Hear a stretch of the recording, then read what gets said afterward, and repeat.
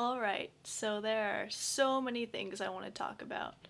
Tomorrow, I'm going to have a think tank. And if you don't know what that is, that's where you uh, get together with somebody and uh, or a group of people and you brainstorm ideas, basically. Now you're probably wondering like what we're think tanking for.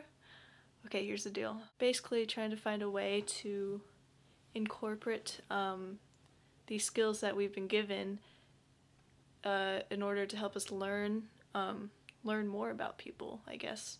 And so our idea for a think tank tomorrow is going to be taking a whole bunch of post-it notes and every time we think of a word related to what we want to do, we're going to write it and just post it on the wall and hopefully words start connecting and ideas will start forming.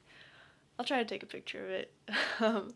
I've never done a think tank like this before, so I am so excited. The person who I'm doing this with, his name is Chase, and he is a very unique individual. Um, he has this goal, he calls it the sunrise goal, and what he does is that every morning he goes out and watches the sunrise with somebody, so usually somebody different.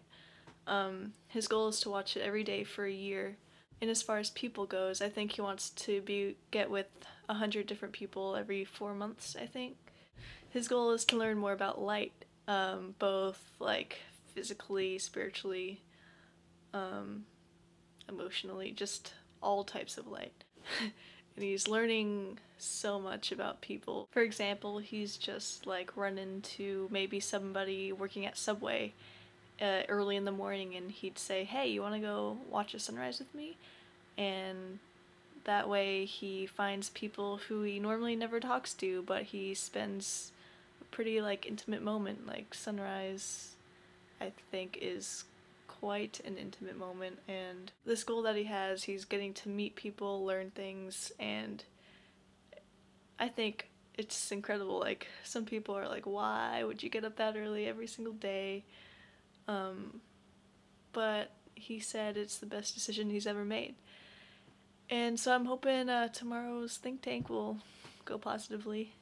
Well, I seem to not be uh, in the Christmas spirit, so let's put this on.